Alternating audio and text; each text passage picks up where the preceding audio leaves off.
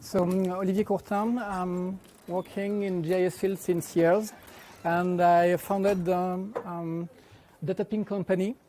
Um, and um, one of our main focus is to um, build bridge uh, between uh, uh, GIS fields and deep learning stuff. So how are we able to extract insights from geospatial data through the latest uh, available tool that we have. We already knew um, how to do it with spatial analysis in a classical way, but what can we extend with new tools to go further? That's it.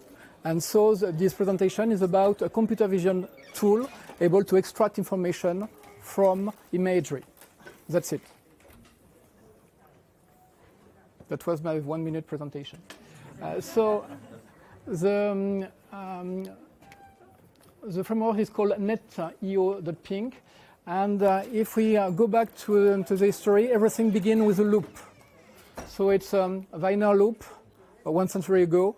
Uh, and the, the point is to say that you have to understand what is wrong before to be able to fix it. And you loop again and again. But since you are not able to understand what is wrong, there's nothing to do about.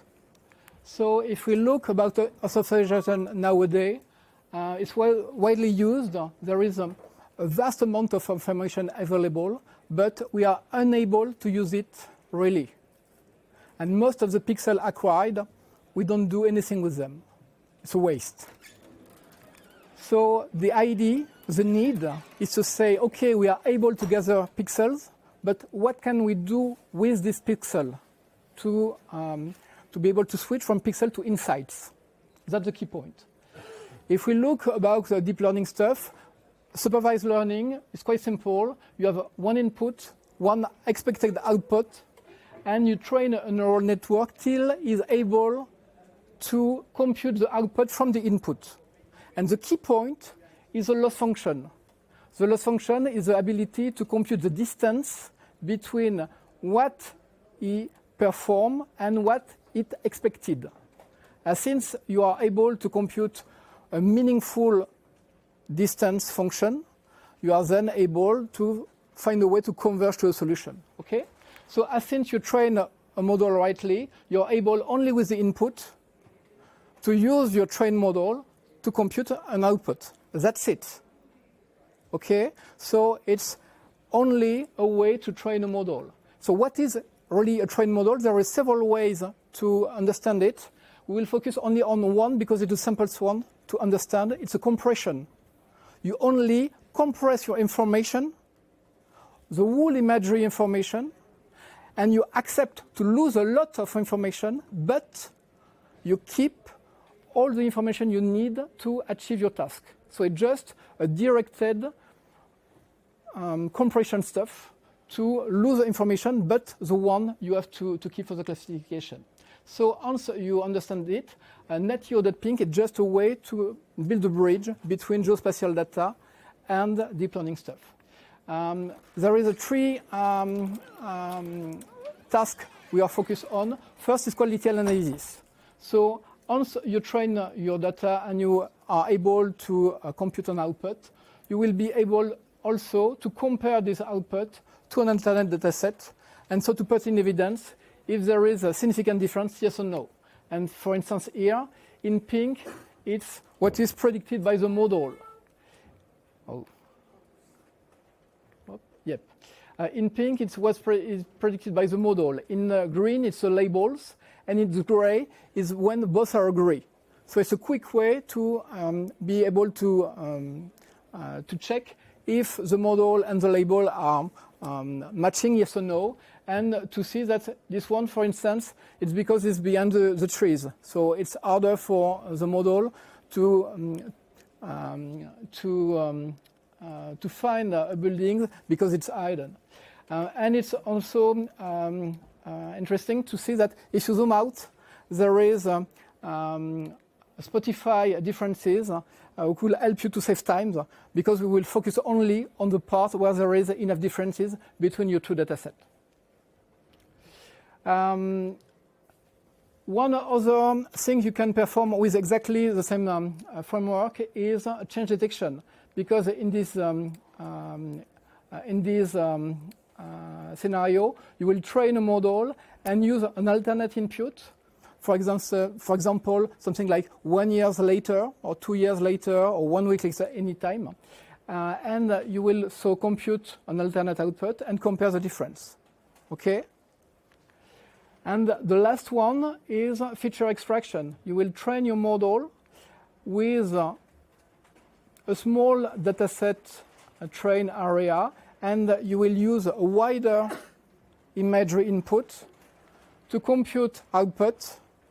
For instance, you will only label a small area, and once your model is trained, you will be able to launch the prediction on a wide area and thereafter to vectorize it. So to be able to um, um, use the tree scenario, um, we have um, several um, little tools you can um, assemble with kind of Lego stuff. So there are small tools, and you can change them uh, to create your own uh, workflow. So it's a command line interfaces. Um, and the whole idea is the ability to deal with uh, different kind of imagery, different kind of well-known labels format, to compute the prediction, and thereafter to do something meaningful with um, as insights from uh, the prediction mask you, you generated. Okay, so that's the key concept. Um, about the stacks, um, we reuse um, so, some well-known um, um, computer um, software uh, from GIS field. Some we came from um, Python imagery, and some we came from deep learning uh, world. So uh, it's uh, a bridge between these, um, these worlds. It's full open, open source except the NVIDIA parts um, because it's not open source by NVIDIA itself. Uh, it's easy to deploy. It's not because we use a lot of software that we didn't package. So it's just a single line to install the whole stuff.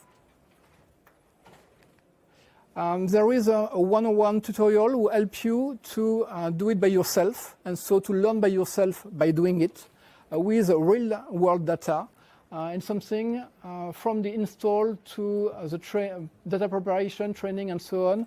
Um, take something like two, three, three hours uh, to um, to launch the whole um, the whole training session um, and the whole um, um, results. So it's also available online. So if you want to look at it right now, you just have to, to click on it and you click on the different picture to zoom in the leaflet interfaces.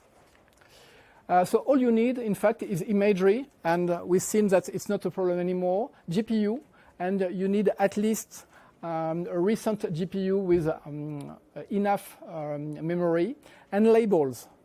And so the key point is uh, the label, because most of the time we are we have labels, but not accurate enough. So if you look here on OSM uh, buildings uh, um, data, we have buildings from this imagery. It's true, but um, they are not accurate enough to be sure that your trained model, if you use this kind of data, uh, will be uh, really accurate. So it's something um, uh, important to keep in mind that if you are garbage in label, you will have garbage out prediction. Yeah. So um, the point here is also to reuse this technique to check that uh, your dataset training is uh, um, quality enough.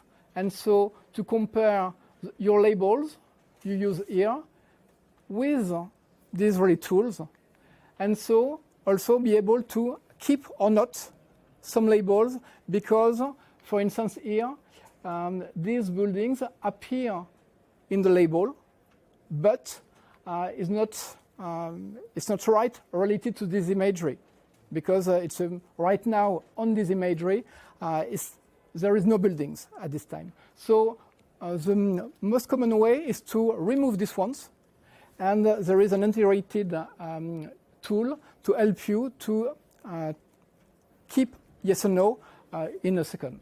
So what's new uh, inside neat-EO.pink? Uh, First is uh, the ability to um, enhance uh, the quality of the prediction uh, despite the fact that we use tiles. So it's well known, we use meta tiles to enlarge the focus. Um, obviously, it will take longer if we choose this option, but the result here is cleaner. Okay? So uh, if we slow the whole process, we have to um, improve it some other way. So we, um, uh, we add the multi-GPU um, scaling uh, to help to, uh, to, to use as many GPU you can um, get on a single host and for the training and the prediction. So you can scale it up. And also we add the multi-classes. So um, you are not only uh, obliged to use it on a single class, you can use on several classes uh, at once. And we um, also provide an auto-weighted unbalanced um, uh, option will help you to um, uh, to give uh, weights related to the classes if they are not distributed in the same way in your dataset. so what's the limit right now? First, the kind of imagery you want to predict on must be quite um, related to the ones you already train on. Remember, it's a kind of compression. So you can't expect a good result if the kind of imagery has nothing related to the ones you use for the training. Um, about the labels, we've seen that you need something accurate, and the amount of label you need is something like um, thousands. So at the very least 1,000 or few thousands, it depends, but not uh, a dozen, okay? And also, uh, right now, it don't deal with topology. So if you have something you want to extract and it's topology uh, related, something like a network, so roads, for instance, uh, it doesn't work well. It's far better behave with surfaces, any kind of surfaces. Okay. Um, right now, we are still working hard on it, and we are looking for funding for sponsor in any way. It could be uh, related to code, so pull requests are really welcome. It could be related to money funding. It could be related to hardware funding and so on. So help us to increase again accuracy, especially on low resolution. We talked just before about um, Copernicus and Sentinel. The next step, obviously, will be to um, behave and to increase the resolution even before we, um, um we perform training and, uh, and prediction on it. Um, the topology, obviously, and to reduce the amount of labels we need before be able to have an, um, an accurate training, and also go on on the performance uh, improvement because it's not necessary anymore to have um, a huge infrastructure to be able to use it. You can, but it's not mandatory. Um, there is also alternative open source um, to this project. There is Raster Vision, EOLearn, Robosat, Solaris. So why choosing this one? Few arguments. Um, we really focus on G-standard compliancy. So it's really easy uh, and standard compliant to reuse um, uh, all the geospatial format data you, you work um, daily with. Uh, your data preparation will be easy and fast. Um, there is a built-in um, web UI interface which helps you to check at every step that everything is online, yes or no. It's modular and extensible, so it's not something um, uh, you, you, can't uh, extend uh, easily. On the contrary, you can uh, really easily add new tools, add new interfaces, add new templates, and so on.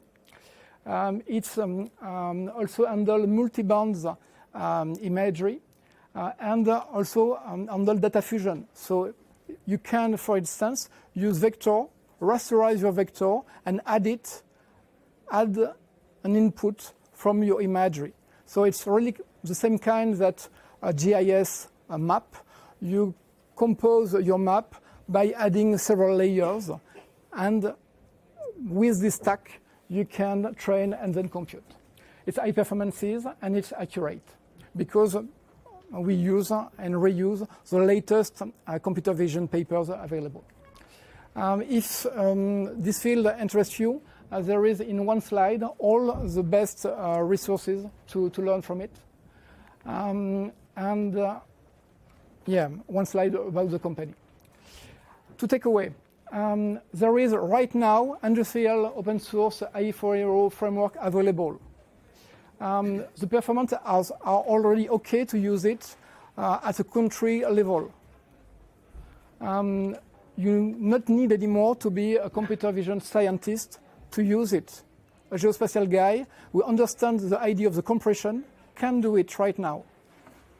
Plain open data could be used to train a model because you can use it step by step. And so to refine your labels till they are accurate enough. And funding and pull requests are really welcome. That's it.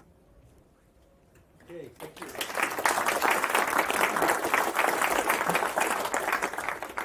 For once, we have more than one minute time for questions.